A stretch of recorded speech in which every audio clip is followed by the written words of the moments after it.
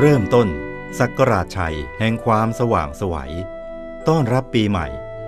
ปีแห่งความสมปรารถนา ด้วยการสร้างมหากุศลครั้งสำคัญ ในพิธียกแครดดิ้งแผ่นสุดท้าย บนเชิงลาด มหาวิหารพระมงคลเทพมุนี ตรงกับวันที่หนึ่งมกราคม พุทธศักราช 2547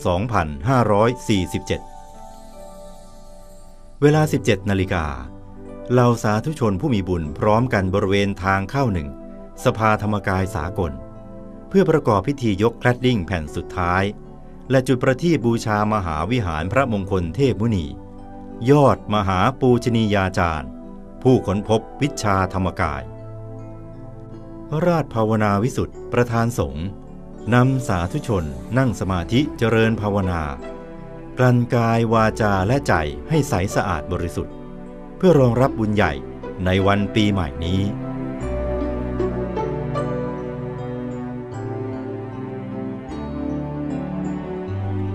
เมื่อถึงเวลาสว่าง 18 นาฬิกา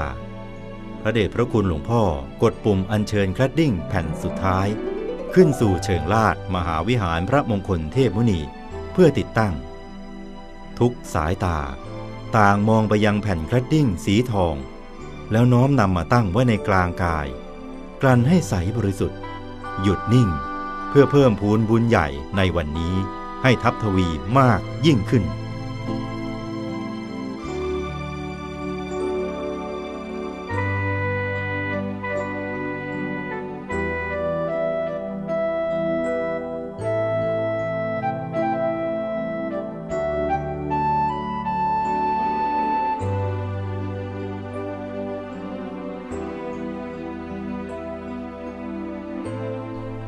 จากนั้นคณะเจ้าภาพผู้มีบุญทั้ง 73 แท่น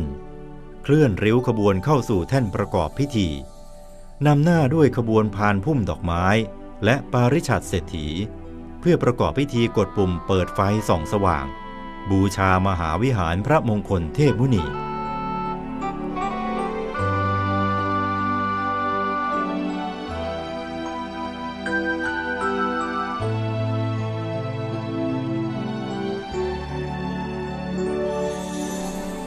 เมื่อไฟบูชาส่องมหาวิหารสีทองอารามอยู่เบื้องหน้าเหล่าสาธุชน พร้อมใจกันจุดประทีปเพื่อบูชามหาวิหาร แสงไฟจากดวงประทีปสว่างนวลตา เปล่งประกายระยิบระยับไปทั่วบริเวณ จากนั้นท่านประธานสงฆ์นำอธิษฐานจิตและแผ่เมตตา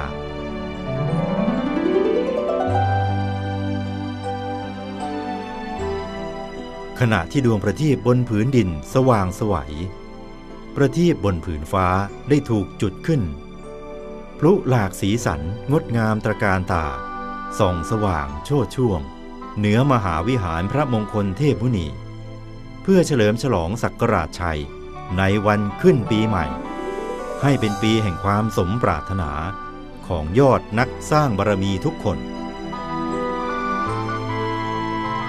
พิธียกแคลดดิ้งแผ่นสุดท้ายบนเชิงลาดมหาวิหารพระมงคลเทพมุนีในครั้งนี้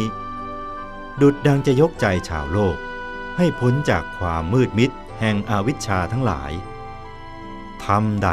ที่หลวงปู่วัดปากน้ำภาษีเจริญท่านได้บรรลุแล้ว เราในฐานะผู้ร่วมสถาปนา ย่อมมีส่วนในธรรมนั้นด้วย สมดังคำที่ว่า ธรรมที่ท่าน ได้ที่เรา